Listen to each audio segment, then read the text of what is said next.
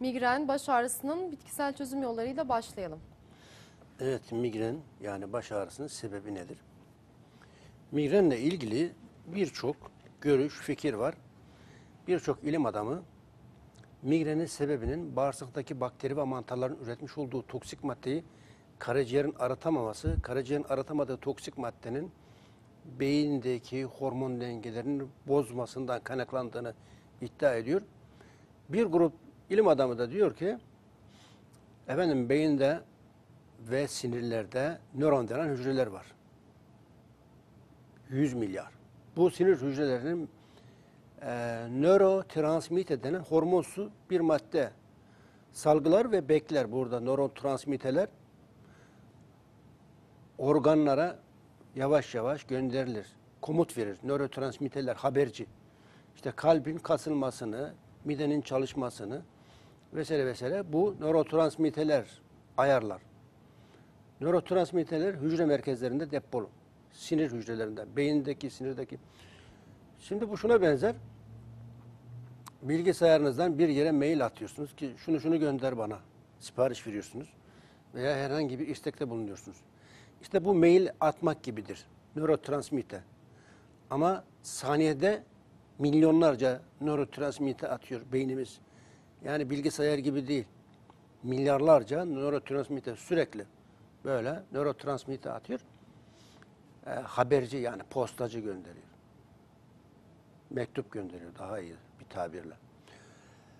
Şimdi bu aşırı yoğunluk nedeniyle bazen aşırı nöron transmitter nedeniyle serotonin hormonunun salgılanmasında arızalar ortaya çıkıyor. Serotonin hormonunda yetersizlik, dengesizlik.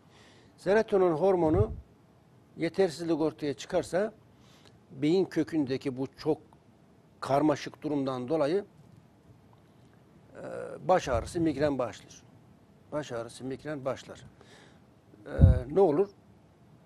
Kişide halsizlik, dermansızlık, yorgunluk, bitkinlik, hayata küsme, bir kenara köşeye çekilip böyle üzülmez, ağlama, sızlama vesaire. Ağırlaştıkça toplumdan, sosyal hayattan kopma. Ben öyle bir aileyi ziyaret etmiştim de kadıncağız hoş geldin dedi. 55 yaşlarında. Ondan sonra şöyle bir köşeye çekildi.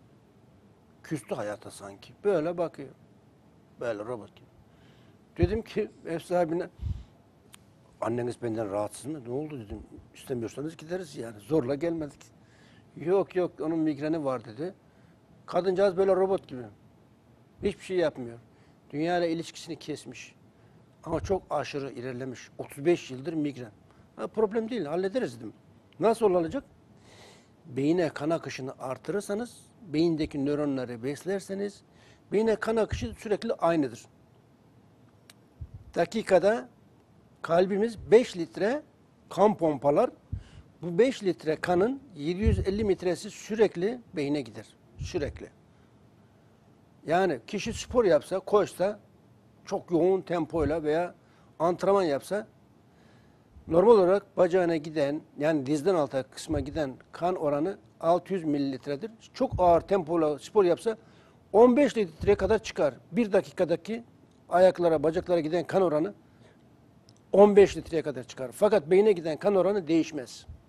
Standart. Hiç değişiklik olmaz.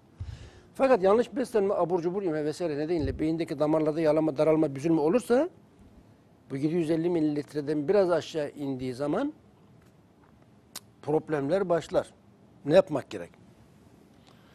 Şimdi bu iksir limon suyu, sirke, sarımsak, zencefil, zerdeçal, kurkuma, longa, altın başak, otu, zeytin yaprağı, kakule içerir. Kişi bunu kullandığı zaman bütün damarları açar, temizler, arıtır.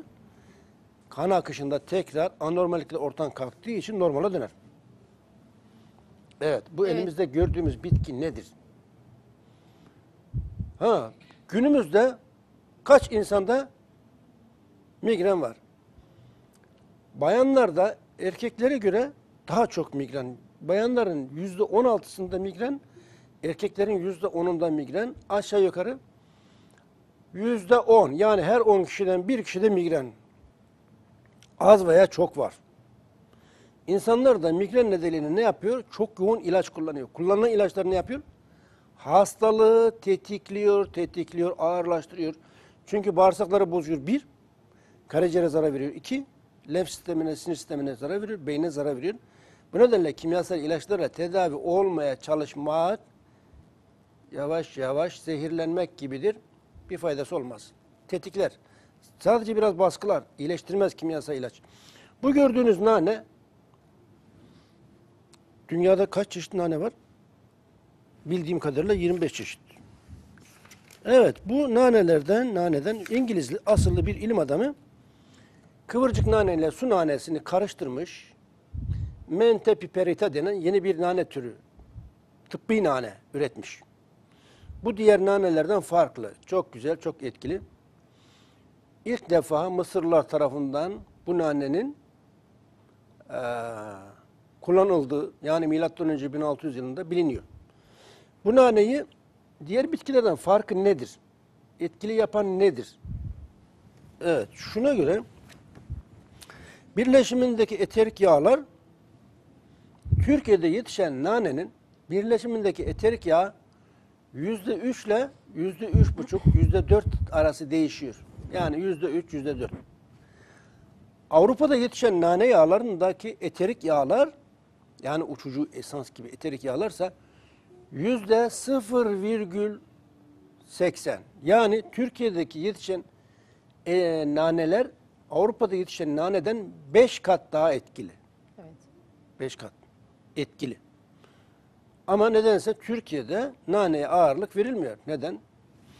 Şimdi nane ile ilgili birçok klinik araştırması yapılmış. Bu klinik araştırmalardan biri de Kiel Üniversitesi Nevralji, Sinirsel Ağrılar Kliniğinde Profesör Doktor Göbel migren ve baş ağrısı olan hastalar üzerinde denemiş.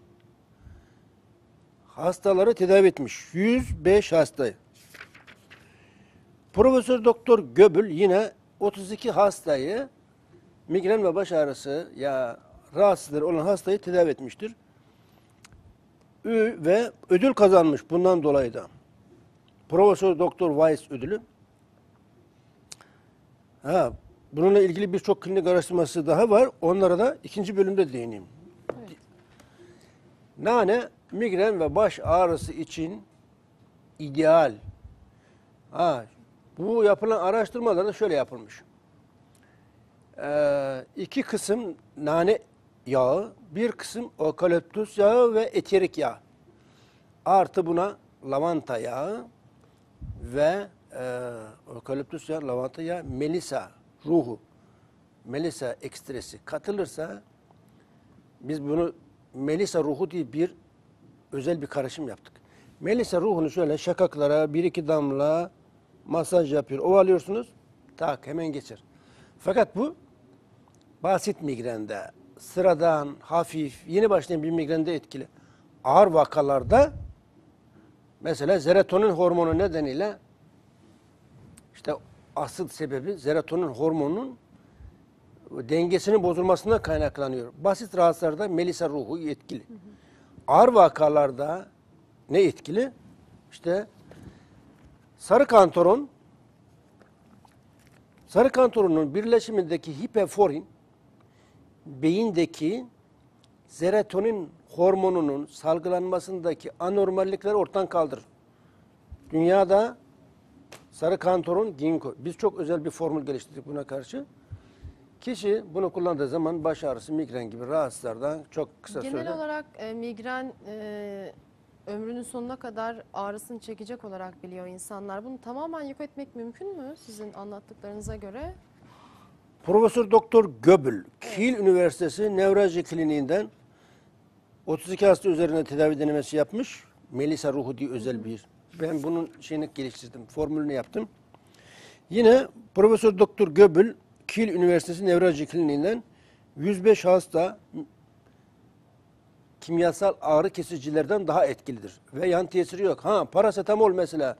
Parasetamol içeren kimyasal ağrı kesiciler etkili. Ama ne yapıyor? Dozajı kaçırırsan karaciğeri çürütüyor, bitiriyor, yok ediyor. Karaciğer zehirlenmesine sebep oluyor. Parasetamol mesela Frankfurt'un bir köyünde bir çocuk bademcik iltihaplanmasından dolayı hastanede kalıyor. 10 yaşında. Annesi de refakatçi. Doktoru diyor ki çocuk ağlarsa, ağrısı fazla artarsa bir iki fitil ver diyor. Parasetamol fitili. Fazla veriyor annesi de çocuk ağladıkça veriyor. Ne oldu? Çocuk öldü. Otopsi yaptılar. Otopsi sonucunda karaciğerini parasetamolun parça parça ettiği tespit edildi. Doktora para cezası 36 bin mark bir para cezası verdiler. Parasetamol çok çok tehlikeli. Türkiye'de anneler, babalar, ebeler, nineler, dideler çocuklara, bebeklere veriyorlar fitili, veriyorlar fitili. Çocuğun gelişimini engeller, karaciğerini bozar, bağırsaklarını bozar. Bütün hormon dengelerini alt üst eder. Parça parça eder karaciğeri. Çok çok tehlikeli. Herhangi bir kimyasal ilacı kullanmadan önce yan tesirini okusun vatandaş. Ondan sonra bir daha, bir daha, bir daha düşün.